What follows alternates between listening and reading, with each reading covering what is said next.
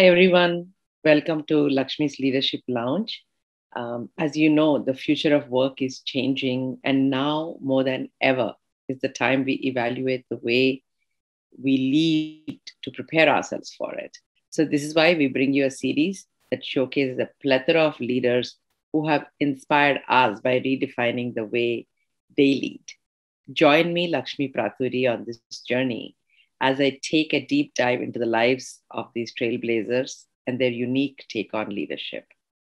Today, our guest is uh, Dipa Singh Bagai. She's an international uh, civil servant who has worked with the United Nations, providing policy advice and supporting development programs in over 22 countries for more than three decades. She has previously worked with the Indian Administrative Service and also with the World Bank. She has an MPhil in developmental economics from uh, the Sorbonne uh, University and fluent in Hindi, Urdu, English, and French. Uh, she's a connoisseur of traditional music and Urdu poetry and art, handicraft, textiles, and embroideries. You know, her passion really is working with communities on eco friendly living, sustainable waste management, and greening urban spaces for environmental sustainability. And she does this all by uh, bringing the whole community together in the most possible and fun way. So I'm really excited for all of you to meet Dipa Bagai.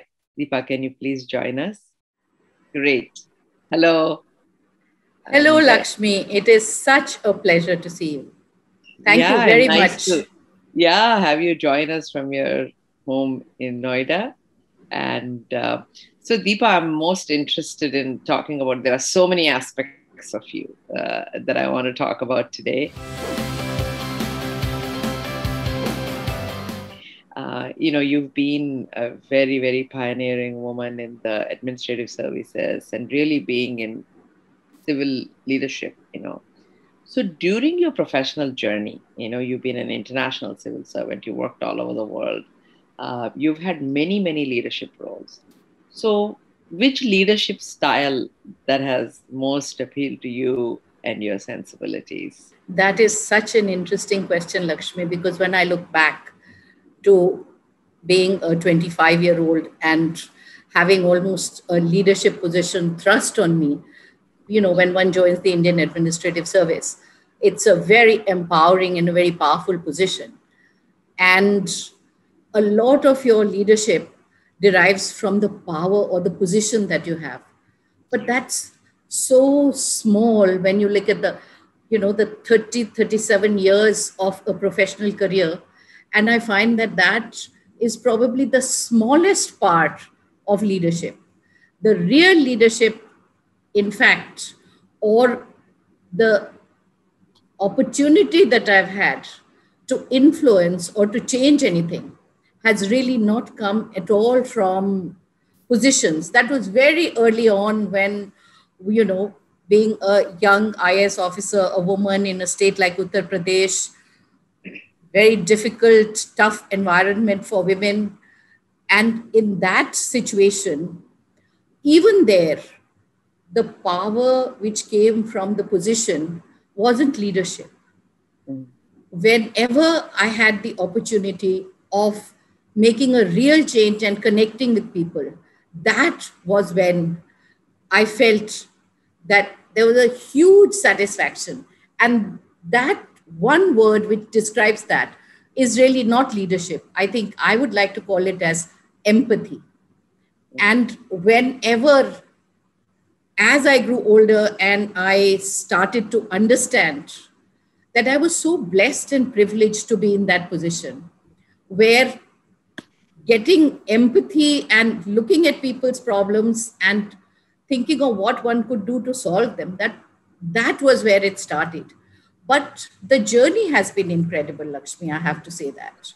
Because yeah. from there when i went into the international civil services when i was working with the world bank or with the un i have to say that added a new dimension to my work and mm-hmm. what was very interesting was that that whole paradigm of power hierarchy of being of being assuming your power from the position that you have that changed and kept yeah. changing and that has right. been such an enriching journey for me yeah and, and now you know, i find that yeah no I, I, right. I, I, find that to it to be to for me to be in a very very good place. Yeah. You know i i worked at intel for 12 years and then i left and uh, i used to joke with my friends that now i know who are my real friends. Like when i call who will call me back? You know it's not even that i had the power in that position. It's the access you have to others who have decision makers so um, you know it's really enriching to um, you know to expand your network based on the relationships and not just on the position of the that you occupy. And you know while you're doing all this you know with so many different countries experiences what are some primary areas you think uh, we need to consider um, while working towards sustainable development goals? Because this is what the united nations has set so what are some of the areas you you are most interested in uh, to move toward SDGs? I mean, this is such a good time to raise the question of sustainability. We are embarking on the UN decade of sustainability. And this whole pandemic has just taught us how important it is that we look at our whole lifestyle, our whole environment, our whole ecosystem as that it is one of those things where sustainability has to be at the crux of this. Mm-hmm. And I find that everything apart, if we look at what we are doing and think of it as what is it that is going to be left behind when we are not there, and yeah. we create around us an environment, an ecosystem that understands and responds to that. That's what is the, the real challenge is to be able to create that ecosystem which is sustainable and which is not driven by you know doing something here or something there or exploiting the environment in a sense or exploiting your situation or power or whatever you call it but hmm. working with it alongside it as a partner and in that sense i think it's so important that whatever we do we look at it as how is it going to impact our world and our lives and our lifestyles in the coming years? And I think the pandemic has been a huge, huge lesson for all of us. And yeah. in a way, it's, you know, it's the best of times and it's the worst of times. I know. And I think uh, we just have to take the best of it. Yeah, no, I think you bring out a very good point, uh, Dipa, about, uh, you know, integrating sustainability into lives into our lives you know not just it as one thing that we do. So um, what are the ways in which you yourself have managed to embed sustainability throughout your work uh, while you're leading teams? You know what are the ways in which we can do that okay so that that that's an interesting way of looking at things because one of the things that I find, I mean, the area of my my work has especially been, you know, capacity development, ena- developing the enabling environment, institutional frameworks, accountability mechanisms. Now, all of these, we find that it's very easy to create an organization or to create a structure, but that is not what is enough. It, it's a necessary condition but not a sufficient condition to get results. So what we are finding unfortunately is that in many many situations we are replicating we are doing something that we call isomorphic mimicry. So the structure is there in its complete glorious form and unfortunately the form is there but it's not able to deliver on the function and when that's not happening then it's never going to be sustainable. So you can create a wonderful hospital, you can have a building, you can put the beds there, you can do everything. I mean, there are instances in so many parts of the of the world where the infrastructure has been created, and yet we have not been able to make it sustainable because we haven't got the right people, we haven't got the right talent, we haven't been able to bring to it the empathy, the accountability, the delivery of what that structure is supposed to do. So the function has not followed form. So yeah. we've become, in many cases, we've become like, I wouldn't say failing states, but flailing states, just running around various parts of the body politic are moving, and yet it's not delivering what it's supposed to deliver. And then, you know, it leads to all those issues of numbers being fudged, people being harassed. And yeah. all that problem comes if the structure is not sound enough and has not been designed with that sustainability in mind, where it's not just about creating an organization, but about keeping all the time front and center that why is it there? What is it supposed to do? Is it doing what it's supposed to do? And being able to constantly reinvent, improve, and analyze, diagnose, and continuously work towards that improvement. I think that yeah. is something which, which is really, really important. I think uh, it, the point I want to underscore that's really important here when we say sustainability, a lot of times we think about uh, do we have plastic cups or do we have paper cups? You know, in you, what you're talking about is sustainability of an organization when you set something up. Have we thought about how will this run for the next 10 years not for the next year? Have we thought about uh, you know developing the next level of leaders? Have we thought about the processes and checks and balances. And i think that's a very very important point. So in your uh, background you know especially when you worked in un etc has there been a eureka moment for you uh, you know from your work that ah this is what it means you know to accomplish something? Okay so that uh, you know there are some examples. There are some times when that happens. And yeah. one of those things is when you know you have the un is con- very often called the biggest talking shop in the world the world bank is considered one of the you know wonderful places for excellent analytical work excellent diagnostic work but when you see some of that being translated into something which changes people's lives on the ground. And when you see that happening, that has been the eureka moment. I, will give you an example. We ran a very, very interesting workshop. It was in Bhutan, one of the prettiest, most beautiful places in the world. And uh, I mean, a great example of sustainability. And it was about being able to organize good, nutritious meals for school children. And lots of countries were there sharing their experiences. I was at that time working with the World Food Program. Pakistan was represented there, as were many other, oh, as the other countries from South Asia. When everybody was presenting their experiences, the representative from Pakistan said actually that this is making me think that if a country like Bhutan, a country like Nepal can have a really good, strong program and can provide a nutritious meal to their school children. Why is it that a province like Punjab in Pakistan, which is the granary of that, of that region, is not able to do that? And found that, you know, schoolgirls in South Punjab, they were not being, I mean, they were not schoolgirls because they were not being able to get to school. And when they were getting to school, there was really nothing for them to do there.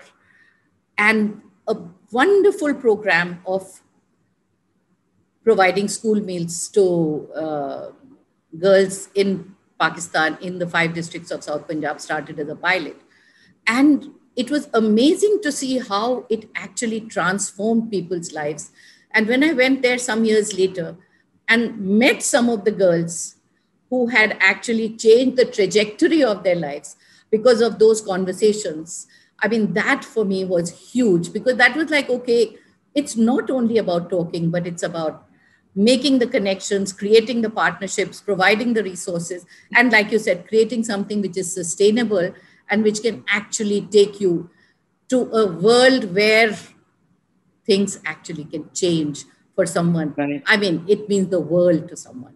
Correct and, and it's also the ability to bring the kind of people who can actually make things happen it's you know a lot of us are emotionally engaged but we may not be able to move things at such a large scale, but someone who has the authority to do it is really, really amazing if you can inspire them.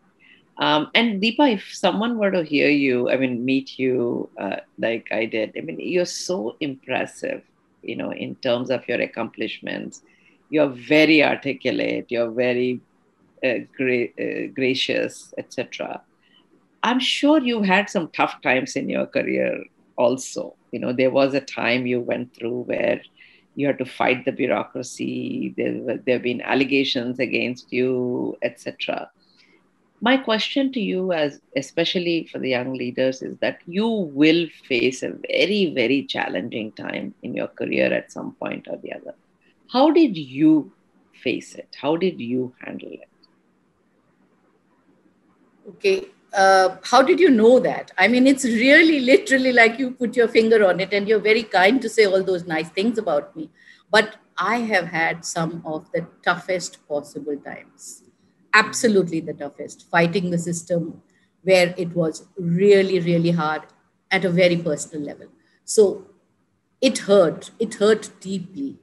But what kept me going was keeping the faith believing in myself and having around me a group of people, my friends, my family, and certain mentors who had stood by me, who actually gave me the strength to be able to literally rise from the ashes. So I think for the young people, it's really important that they're able to leverage the strength that they get from being around other leaders, around other people, around strong pillars in their families. I mean, I come from a family of very strong women, also very strong men.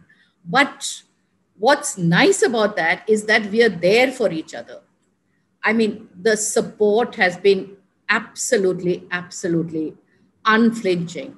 The belief and just standing behind you, it's literally sort of giving you the wind under the wings make you fly. Yeah. and yeah. for young people it's really important. It's actually you know now basically i think people like you and i our generation that has to recognize that. And at one level we say that young people are getting very introverted in a sense even though I mean, there's a huge social media world out there for them. They are otherwise you know in a way very alone and i think that's where we have to really really kind of you know bring all our efforts together i mean i personally get so much energy myself from being with young people that it's yeah. absolutely yeah. incredible right. that's one of the things which you know when i've come back after working in so many different parts of the world and coming back to india i have found myself working with the community and mm-hmm. it's that kind of, you know, that lots of young people there, lots of people my age, but that has actually changed the paradigm for me. So yeah. the tough times just go away and all these, you know, big energy giving positive things happen around me. And I feel so wonderful. So, um, you know, we are actually going through, India is going through a tough time uh, with COVID, uh, etc. And it's, you know, turning it around. So if you, I mean, that is also sustaining human life, right? Sustainability in, in a big way. So if you were to put the 2050 glasses, uh, uh, Dipa, what are the things we need to do today to maybe still continue to exist in 2050 or, you know, to really um, embrace everything that India could be and to move there what are some of the things do you think we need to do today? And what do you see in 2050 you know what's your perspective? For me lakshmi i think one of the most important things is to change the way we do things. And when i say that i mean the power of the community is what we have to harness very very strongly and in a way that we've not done before. I mean, the pandemic has shown clearly, I mean, how much the eh, the people outside of the government, it was the communities, the Republic of Self Help, it was called at that time. So it's the community engagement that is really critical. And in that community engagement, I find there are two areas which are absolutely one is, I mean, they're absolutely key to what we'll see in the world in 2050. One is caring for our environment. And in that, the sub part of it is managing our waste. One of the big, big problems that I find is that, and that's going to impact and impinge on every part of our life. And the second part is, of course, the broader environmental sustainability, the greening, the absolute, absolute necessity of being able to address the key issue of a planet of an earth that is denuded you know and then all the things that it leads to all the climate change issues all the other problems. So those i think are the two absolutely key areas.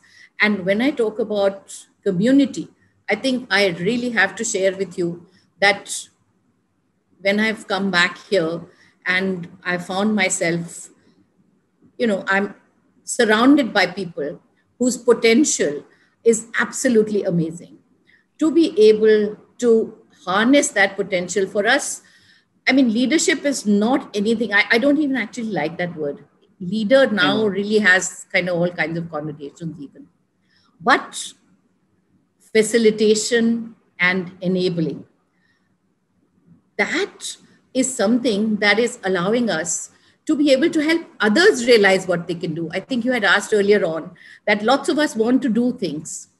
But when we find ourselves in an environment where partnerships, networking, enabling, and facilitation happen, magic can happen. So we I, formed a group called the Green Crusaders. Yeah. Our Green Crusaders are just absolutely phenomenal women. Some of them are housewives, some of them are professionals, doctors, teachers, uh, and yet, together, we have been able to do things which many of these people and myself would have not thought possible. So I think that kind of power that we've got from the community, which the community gives to each other, and it's that partnership of the community with the government agencies that is actually able to do, because government, I think, at this point in India, is not going to be able to do all alone everything that needs to be done in the country. So yeah. I think that's very important.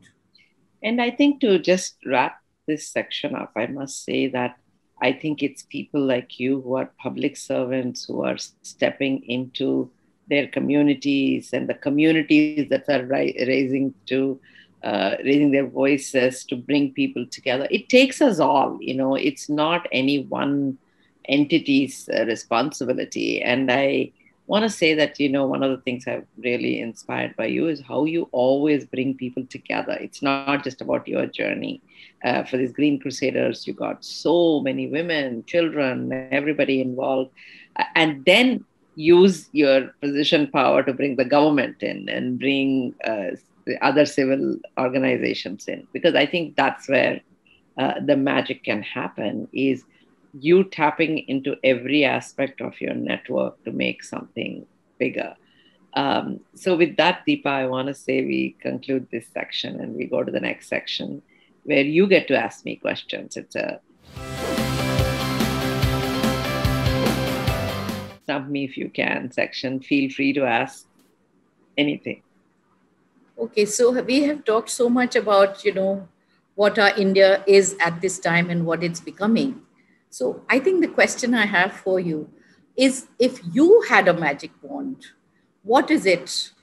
What are the two things that you would like to change using that magic wand in the India that we find ourselves in today? You know, to, to me, there are two groups that are most interesting to me. One is the next generation, the youth. Um, and when I say youth, anybody under 40 you know because i think once you're 35 or 40 you're really set in your ways. Uh, and i really would like to train this generation. Um, you know you're absolutely right. What is leadership is is completely changing in the future. It's not about somebody who holds information or a position power. All those things are going to go. It's really about how agile you are about learning engaging with others, forming unusual partnerships. So I think we need to develop our next generation of leadership to be very interdisciplinary, uh, intergenerational, and uh, uh, and interfaith, interbelief. You know, we need to create a very very diverse uh, set of leaders who bring various values but also know how to work with people who are very different. I think the industrial age has made us all very um, you know specialized and even parochial to some extent. And I, this pandemic has shown us you know it has no geographical boundaries no social boundaries no caste boundaries nothing. It can affect anyone anywhere. And we are all working across countries across ages across everything to solve it and i love if i could wave a magic wand and educate everyone in a completely different way, in an experiential way um, of um, uh, uh, of uh, being a more holistic leader. You know, that's the first thing I really, really want to do. And the second thing I'm most passionate about, you touched on this also, is women. You know, uh, women are not just in India, in this world, we are over 50% of this earth but we have consistently trained women to always be in support roles. I mean, we have,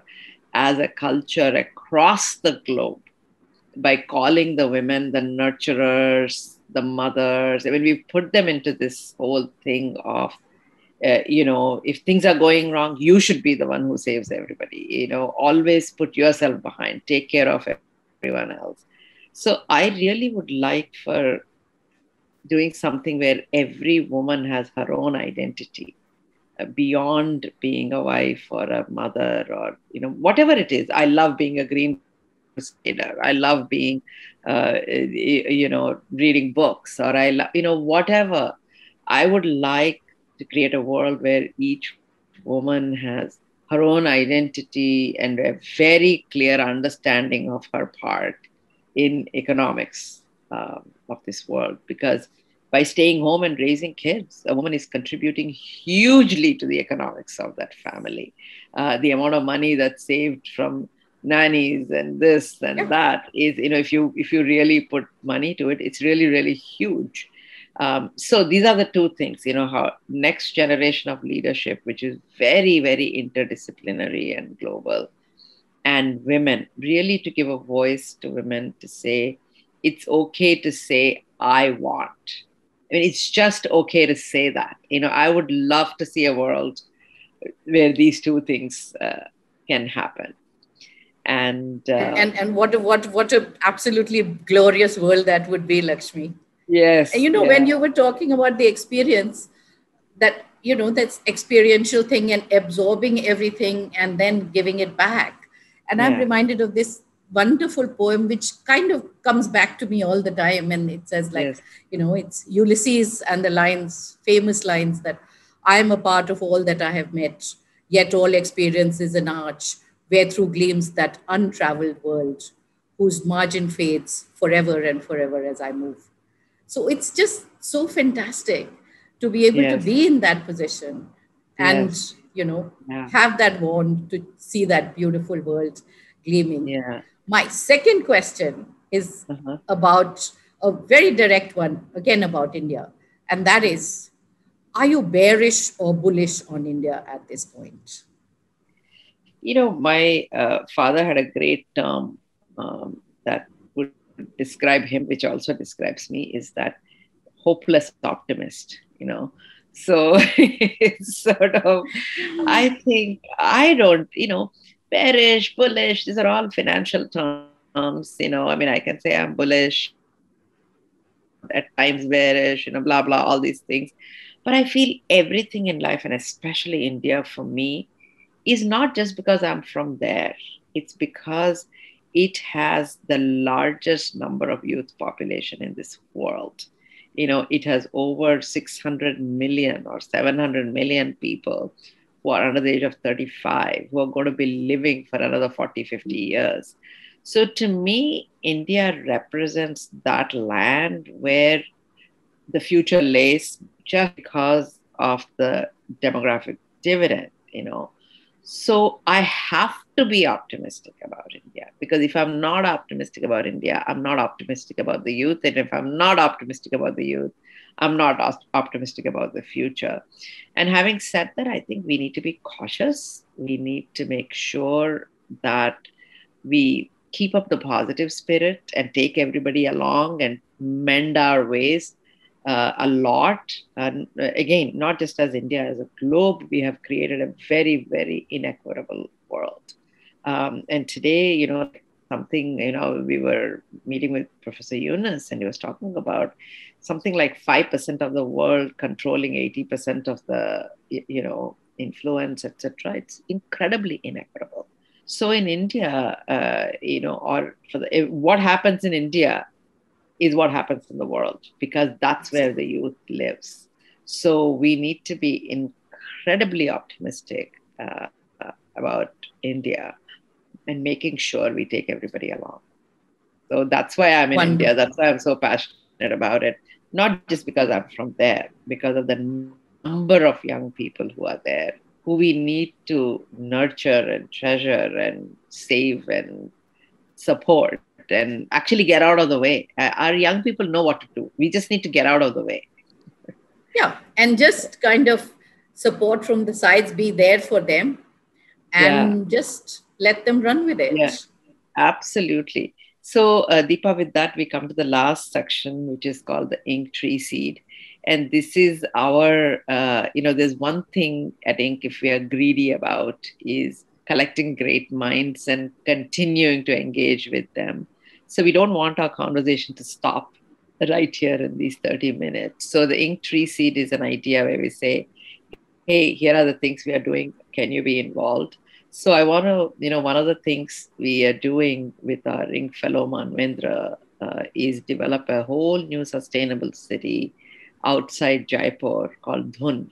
Um, and you, you know, Dhun.life has all the details. And it's really, really amazing for me uh, that a very successful but hotelier um, you know wants to engage in something so long term and has such a long term vision um, it's when sustainable it just doesn't mean um, you know let's plant a few trees. It's really really a very different mindset.